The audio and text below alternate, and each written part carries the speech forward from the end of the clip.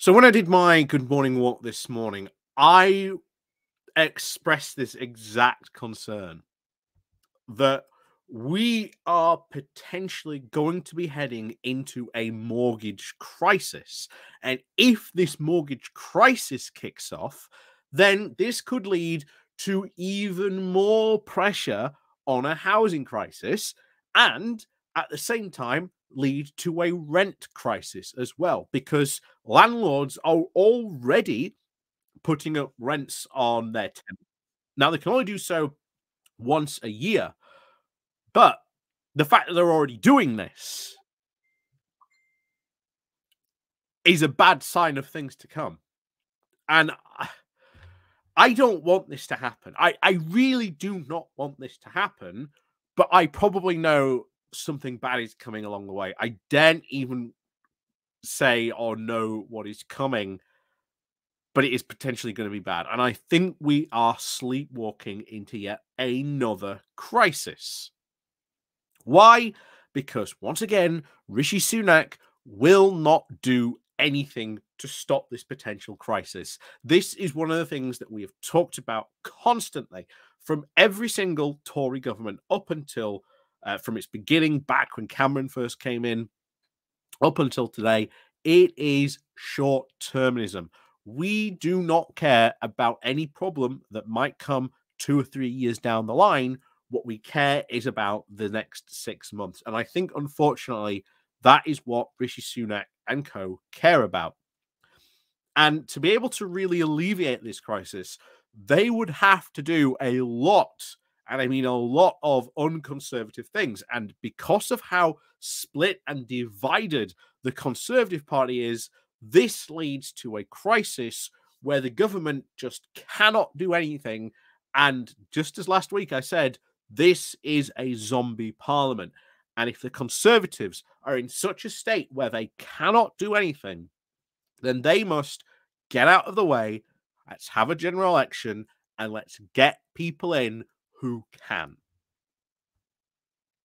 So, as always, before we go uh, looking into this, please do remember to click on the like, share, and subscribe button. And of course, down below, there are links to my Patreon page and a foundation link called Buy Me Coffee, can well buy me coffee.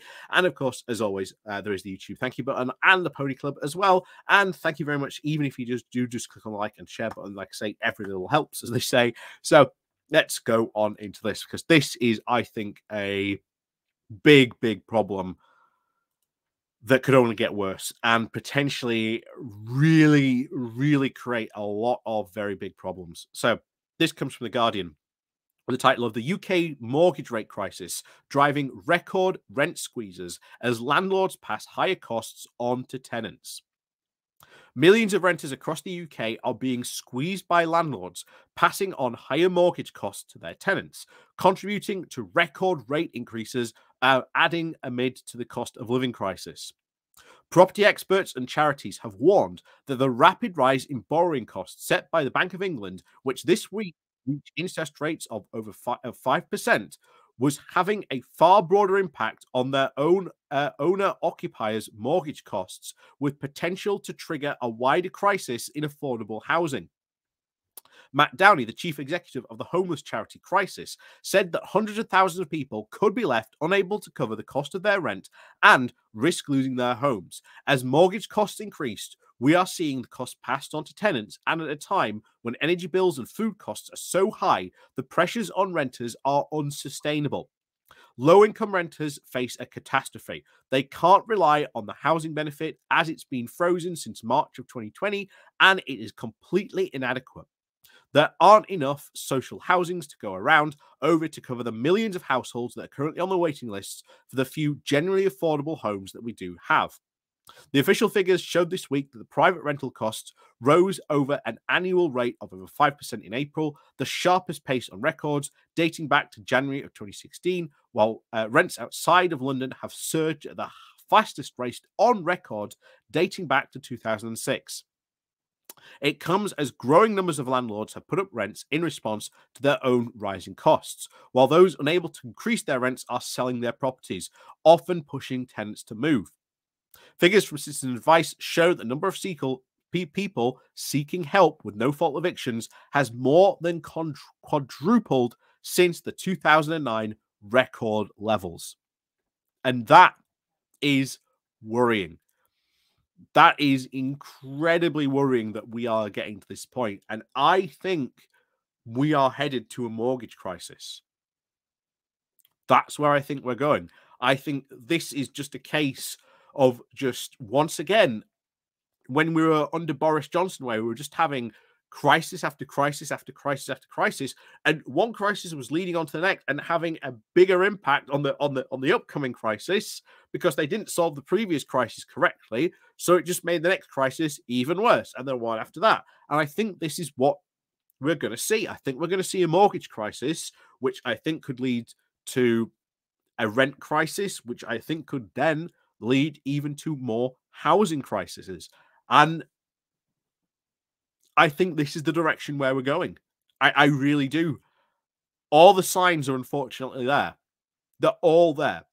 It's very, very worrying because if this goes off, this is going to have huge economic consequences. This will force us into a recession. This could have other consequences on on people's businesses, on all types of economic situations. So this whole situation, to be honest, it's it's really not good, and I don't know how else best to describe it. It's not good. It's very depressing when you when you see these things, and it's even more depressing knowing full well that Rishi Sunak, if he wanted to, could pass rent controls. Uh, again, that would be a, a part of a solution. Wouldn't stop the crisis completely, but it would be a start of again the many things the Conservatives could do. You could help out, give some form of mortgage relief, um, build, commit to building more social housing. We know we can build thousands of social housing very, very quickly if we need to. Like I say, after the end of World War II, we rebuilt thousands and built new social homes very, very quickly. We, they were all prefabricated, but I'll tell you what, if we could do that again, build a ton of really cheap, um, you know, temporary housing, which again you can then make permanent, you know, later on down the line, it alleviates some pressure to begin with, while you can then make long term plans. There is a ton, there is a ton of stuff the government could be doing but every single thing that is on the table as a solution to potentially to Rishi Sunak's problems, he doesn't want to do. Why? He is weak. There is no way he could uh, get this through Parliament because he has absolutely zero political capital. We've talked before about how he is a prime minister governing with a majority of zero, even though, he doesn't uh, have that. The Tory party is so split and divided, they even themselves cannot agree on what to do. And we are, I fear, walking into, or at least sleepwalking, or the government, shall we say, is sleepwalking into a crisis the likes of which we haven't seen. And I think that is a mortgage crisis, which again, I think will knock an effect and lead to more crises. And it's going to be very bad. It's going to be very, very bad. It really is. And it's so depressing to end on a video like on a, on a video like this with that. But I I don't know what good news I can deliver you. I, I, I really don't, except Russia seems to be falling to pieces at the moment. So if you are worried, then at least you can go watch, you know, potentially Russia and probably Belarus, Be- Be- Belarus at least fall to pieces. And I know that's not going to give you 100% confident. Of course, if you are in uh, one of these situations with your mortgage or, or your rent, um, but that's the fortunate situation we are in. So, as always, thank you very much for watching. And of course, as always, we'll see you all next time.